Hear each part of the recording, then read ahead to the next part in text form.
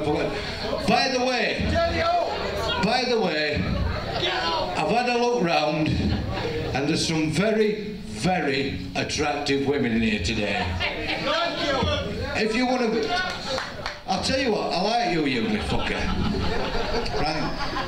Ah, you've managed to put a, pull a bird that looks as nice as her. I'm fucked. But getting back to, having said that, to be fair, I actually know because the power of beer is a wonderful, wonderful thing. Right? And this is a warning to all the good-looking ladies in here this afternoon. Do not exceed 17 pints. Because if you do, ugly bastards like him, right, will pull nice looking birds like her because she doesn't have a clue. Right? So seriously, good looking birds, beware. It's happened to me a few times, I know I'm a good looking lad. Right? And when you get up in the morning, you're gonna fucking regret it. This is called In Bed with a Troglodyte.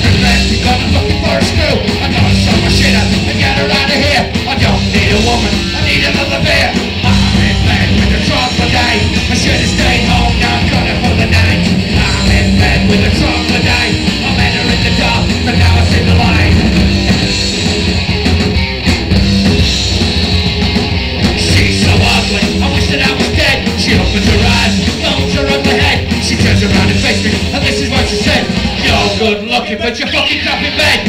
I'm in bed with a troglodyte.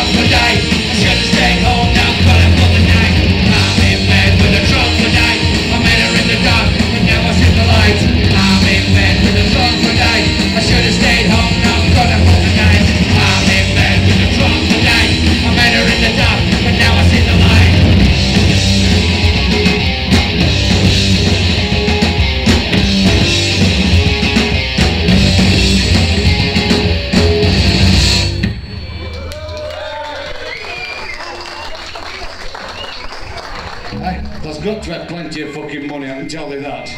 It's got to be all the reason she's weird. Does anybody know any murderers? Yeah, what an idea you would, you fucking thug. Uh, I like I like murderers. I don't, I don't, you know what I mean. I've, I've got time for them. I like them.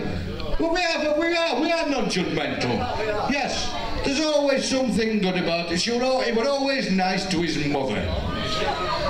You know, his mother always supported him. It didn't matter if they fucking gave somebody's head in crowbar or anything else like that. Manchester, little suburb, Weatherfield. Live on, on British television, 14 million viewers, killed three people, nearly got away with it. This is Richard Hillman.